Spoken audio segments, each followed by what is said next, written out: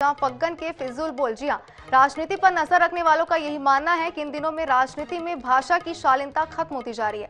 हाल ही में कई जनप्रतिनिधियों के ऐसे बयान सामने आए हैं जिसमें भाषा की मर्यादा को तोड़ा गया है। ताज़ा मामला मंडला ज़िले से सामने आया, जहाँ केंद्रीय मंत्री फग्गन सिंह कुलस्ते का विवादित बयान सामने आया। वायरल वीडियो में केंद्रीय मंत्री फग्गन सिंह मीडिया कर्मियों से चर्चा कर रहे थे। इसी दौरान उन्होंने कांग्रेस के लिए अपशब्दों का प्रयोग किया। उन्होंने कहा कि कांग्रेस ने पंद्रह महीने में किसी को पानी तक नहीं पिलाया। इतना ही नहीं, उन्होंने कांग्रेस विधायक को भी बदमाश बता दिया।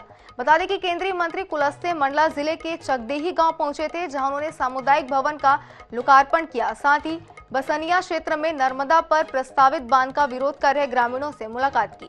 इस दौरान उनका एक वीडियो सामने आया है। जिसमें वह कांग्रेस के लिए अपशब्दों का प्रयोग करते हुए नज़र आ रहे हैं। वीडियो वायरल होने के बाद मामले में कुलस्ते की सफ़ाई भी सामने आई है। उन्होंने इस पर कहा कि वो अनौपचारिक चर्चा कर रहे थे। वे सभी जनप्रतिनिधियों का सम्मान करते हैं और उनका उद्देश्य किसी को अपमानित करने का नहीं है। मामले को लेकर कांग्रेस हमलावर नज़र आ रही है। मंडला में कांग्रेस कार्यकर्ताओं ने केंद्रीय मंत्री फग्गन सिंह के खिलाफ प्रदर्शन किया। देखो भैया, पंद्रह महीने में कांग्रेस ने आदमी को पानी तक नहीं पिलाया। कांग्रेस है और कमलनाथ। मैंने कहा, ये जो कानून है, इसे कानून के इस दायरे में आता नहीं है और इसलिए ये सब फर्जीवाड़ा है। एक आदमी का इसमें कर्जा माफ़ नहीं होगा। तो सुना आपने कि उन्होंने क्या कुछ कहा? एक बार फिर आपको बता दें कि लगातार जो है राजनीति में देखा जा रहा है कि भाषाओं को ध्यान में नहीं रखा जा रहा है। अब शब्दों का प्रयोग जो है वो लगातार किया जा रहा है। इसका एक उदाहरण भी जो है यहाँ पर सामने आया जहाँ पे वीडियो में आपने सुना कि उन्होंने क्या कुछ कहा।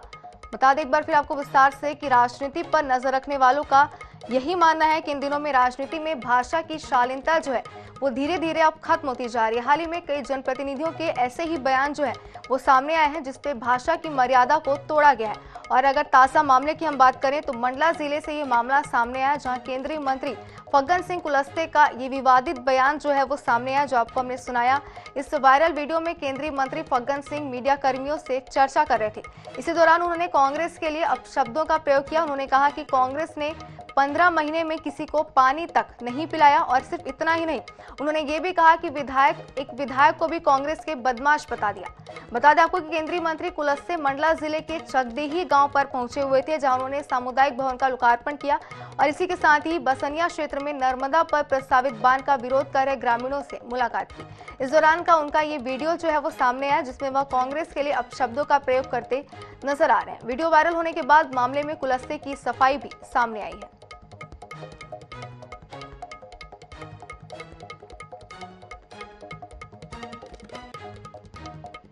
ज़्यादा जानकारी के लिए मंडला से हमारे संवाददाता लखन भांडे हमारे साथ जुड़ गए। लखन, जिस तरीके से उन्होंने विवादित बयान जो है वो दिया है, वीडियो में साफ़ तौर पर हमने सुना कि उन्होंने क्या कुछ कांग्रेस के लिए कहा, लेकिन बाद में उन्होंने सफ़ाई भी दी है। क्या कहना चाहेंगे इसमें?